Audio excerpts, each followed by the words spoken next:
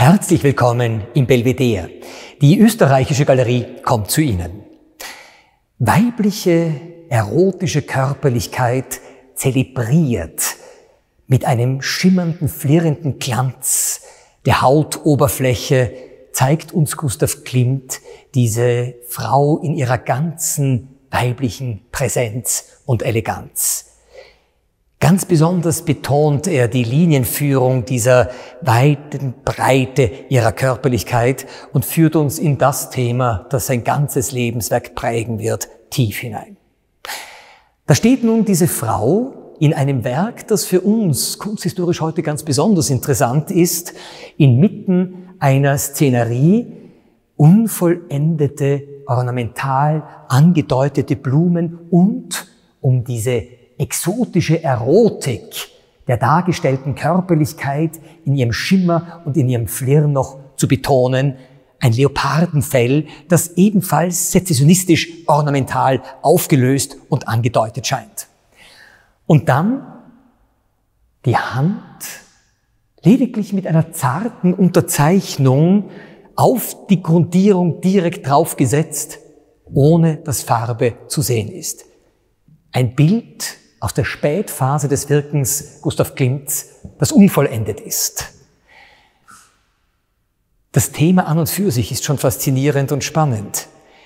Ein nackter Frauenkörper uns frontal entgegengestellt mit diesem bleichen, blassen Inkarnat, also der Hautoberfläche, die so pseudo-impressionistisch schillernd gezeigt wird, das alles entspricht so ganz und gar dem Bild, das wir heute von Gustav Klimt haben, nämlich jener Künstler, der nicht nur die Wiener Sezession als ihr erster Präsident verantwortet und mitbegründet hat mit anderen jungen Künstlern, sondern ein Künstler, der so viele Tabubrüche im Laufe seines Lebenswerkes vom Zaun gebrochen hat und immer wieder bürgerliche Konvention in Frage gestellt hat.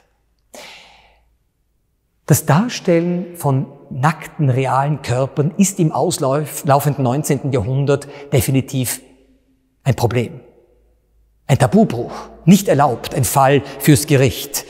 Gustav Klimt tut es doch immer wieder aufs Neue und doch ist dieses Bild unbedenklich.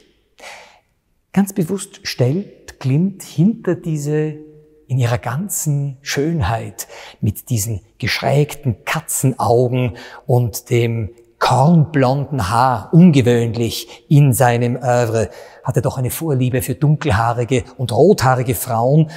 So stellt er hinter diese von Weiblichkeit getragene Frauenfigur einen Mann, den er nur andeutet. Der männliche Körper interessiert Klimt definitiv nicht.